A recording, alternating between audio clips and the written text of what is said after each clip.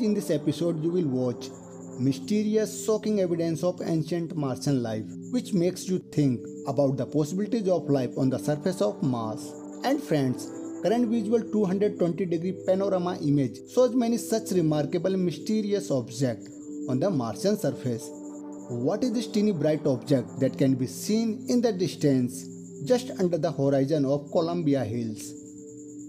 According to the NASA, it's a heat shield debris of the rover which was separated during the landing on the surface of Mars. Do you agree with what NASA explained? Must comment your opinion. Friends, now you can see fascinating rocky structures that attract our attention and create excitement and also raise many questions about Martian life.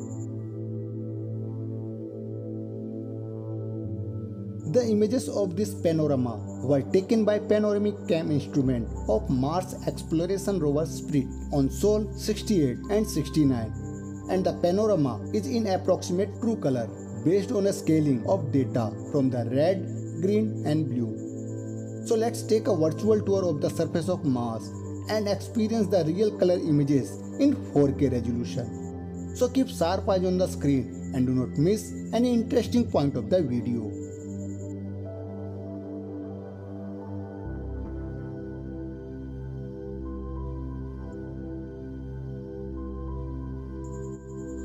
This newest stunning views captured by NASA's Perseverance rover on mission Sol 293 that shows half heart shaped fascinating structure. Let's have a look.